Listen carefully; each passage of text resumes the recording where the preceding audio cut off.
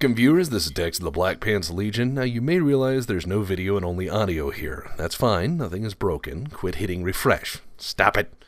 Now, this is an interview. Why? Because I had this idea. I've spoken with admins of Space Station 13 before, and they are notoriously antisocial types who generally don't like to talk with or at people for prolonged periods of time, as they are judge, jury, and executioner on a server and can't be seen demonstrating favoritism, at least in theory, anyways. Here's how this works. I'm putting out an open call to any and all Space Station 13 admins on any public listed servers. This call is here, so answer it. If you're interested in answering or participating in an interview about Space Station 13, its history, and your server, please respond. I'll try to get to you and we can set something up. That being said, this is an interview for, with a Space Station 13 admin. The questions are largely freeform, and the discussion does not reflect the exact policy of the server unless stated otherwise by the person I'm interviewing.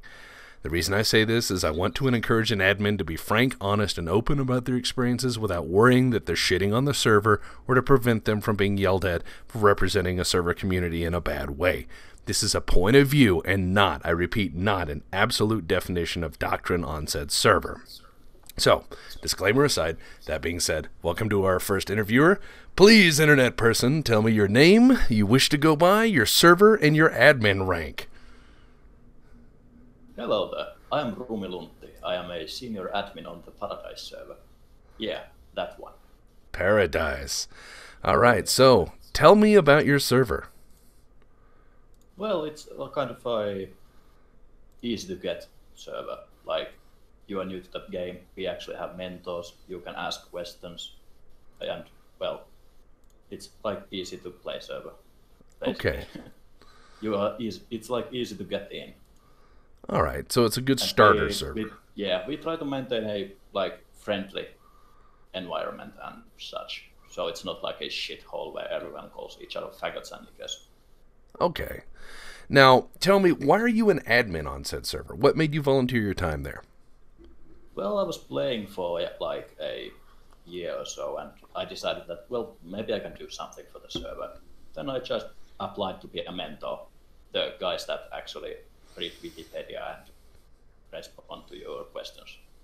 Hmm, that's cool. Then I then I became a mentor, and then it was like a few months, and they realized that they actually need admins. So they just picked some of the mentors and asked if you want to be an admin because we need them. I understand that. So, what is the hardest part of being an admin on your server? Well, we have Greytide. Lots and lots of Greytide because, well, we are the most populated server usually. So when people join the game for like the first time, well, they might have like never actually played any like role-playing game. And well, Space Station 13 is a complete piece of shit game unless you actually role-play in it. Because there's not like that much of a like interesting gameplay unless you play your role. So people come to your server because it's on the top. Yeah, I just click on that. What fucking do? And then they come to the server. They have no fucking idea what they are doing. What are the rules? Well, I didn't read. They just come in and start shitting everything up. I understand that. So, I mean- yeah, it's yeah, You guys hit like what 170 last week? Yeah, something like that. It was, it was a mess. But well, admin team held. That's good. You held the line. Yeah, it was So- like a fucking floodgate. So, what are the greatest challenges you've ever faced as an admin? Well, maybe to be like actually just. You always have to think like uh, if this guy is doing this just to be a shitlord, or if he just has no idea what he's doing, and like you need to balance that. Like if this guy, if this guy's fun is taking fun away from someone else, like is it is it really what we're after? Like you need to be just, but you also need to be kind of harsh and you need to be ready to like step in and be like, knock it off. You're being an asshole. All right. What do you think are the greatest problems with Space Station 13 today, or at least on your server? Well, it might just be that the game is not easy. So when people come in, they play for a while, and they might might get frustrated because some of the nerds have, have played this for ages and they know everything. and then you come and you are a complete noob and you have no idea what the fuck you are doing, and everyone is just yelling at you because you are not doing everything optimally. And I don't think that's like the main focus of the game, doing everything like optimally or anything, just having fun and playing the game. But yeah, I think that's one of the biggest things that like actually become a problem later on because when you get frustrated about the game, you just stop caring. I understand that. So you're saying it's kind of that balance of people who've been there forever who just want to play it optimally and they don't give a shit about role playing. They're just about efficiency. And then there's people who come in who are interested because of watching videos or hearing about role playing and so on, but they can't do the job well, and they, there's kind of a problem between that and frustration. Yeah, yeah. When you have the right intent but not the knowledge, then Yeah. it's like it's a very hard place to be because yeah, there are people that just run into science and finish it in 15 minutes and then start to shit everything up and be fucking killable. Yeah. And then there are people that just want to like role play and have fun. How the fuck do you balance that? Fair point. Now, here's the next question. How do you combat special snowflakes? I ridicule them to death. Like, if someone is being so like snowflakey and so stupid that it's like you cringe when you look at it and look how they act, I like Jesus fucking Christ. Why? Yeah. I, I'm not like directly banning them for it or anything. I'm just like, why? Okay, what Why is your you? Yeah. I mean, what what is your opinion on people who play on your server and record or those who stream? Uh, we have a rule that you need to have like 15 minutes of like delay on your streams, just because people can metagame from it and such. And like, well, if you have the stream open, you get like another person's view and see everything they see. But if there's a 15 minute of delay, that doesn't really matter. Okay. But yeah, every, everyone is free to do videos and such, but only streaming has this like minor rule. What is your opinion though on the impact that has on a server? Like Well, bringing people to it that may not be so great. Well, if someone just does a griefing video and shows how to grief, then we just like have to praise ourselves because the creator is going to come and try to do it all the time. But if someone does a video and just plays around it, it doesn't really matter. All right, because I know some admins don't like it when people record because they feel that that's like lifting the rock they live under and showing the internet their little secret place, and it'll never be the same because of that exposure. And other people welcome it because they say, "But we're ready to deal with it." Yeah, well, you are welcome to paradise unless you are a complete shitter. Okay, what do you think makes a good admin good? Well, as long as the massive admin panel doesn't go into your head and you start to be an abusing asshole, and as long as you put the fun of the player in front of the fun of yourself, you should never do anything just to amuse yourself. All right, what makes a bad admin bad? Well, if they use the admin panel just to be a complete dick, and if they keep fa- favorites and like kind of like let their friends do whatever and that kind of shit, that really kills the server fast. If, if even if one of them is like that, that really kills the server. On the nature of balance, because I've heard this discussed by many admins before, on the nature of balance between shitcurity and gray tide, what's your opinion on how to maintain said balance? Well, uh, in the perfect world, no one would be a dick. But well, someone is going to be the dick always. So I do not like allow people to be shitcurity because that's just shit. Because you have a role that has like the power to take someone from a round completely, and the fucking round can take two hours. If you abuse that role just for your own amusement, to take people away from the round for no reason at all, I am going to ban you from that role. But if you are a complete piece of shit that just picks the Tide roles just to be an asshole and do nothing else but run around and fucking whack people with crowbars and rip off floor tiles and hack everywhere and steal shit, I'm going to like hammer you down. All right. On well, speaking of security and the Grey Tide, here's a two-part question. Um, one, if you see security going on, like let's say um, there's somebody who says, like happened in one of my playthroughs, you know, cargo's up to no good, and they arrest everyone in cargo and detain them without, you know, any cause other than I saw somebody with something they shouldn't have. How would you address that as an admin?